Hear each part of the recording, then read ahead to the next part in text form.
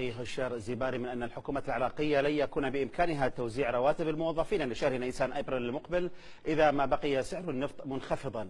وقال في مقابلة صحفية اليوم أن سعر برميل النفط الواحد انخفض من 120 دولار إلى 30 دولار وإذا استمر اعتماد العراق على النفط فإن كل شيء سيصاب بالشلل. والله عندك جيب جيبه مثلا في العام الماضي نجحنا في توزيع الرواتب لكن هذا العام ووفقا للتقديرات المتوفرة لدي فإننا قد نتعرض إلى إشكالية في شهر نيسان وقد لا نتمكن من توزيع رواتب الموظفين لذلك الشهر. هذا واقع يجب أن يعرفه الناس.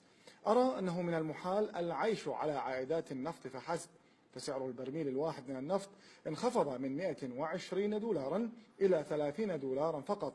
وإذا اقتصر اعتمادك على النفط فإن كل شيء سيصاب بالشلل. قد يأتي وقت لا تستطيع فيه توزيع الرواتب حتى. لذا يجب التفكير في جميع المصادر الاقتصادية. مشاهدينا هذا الحصاد مس... نفى وزير المالية هوشيار زيباري التصريحات المنسوبة له بشأن عدم قدرة الحكومة على دفع رواتب الموظفين. زيباري وفي تصريحات صحفية شدد على أن رواتب الموظفين والمتقاعدين خط أحمر مشيرا إلى أن الحكومة ملتزمة بتوفيرها وتناولت بعض وسائل الإعلام في وقت سابق.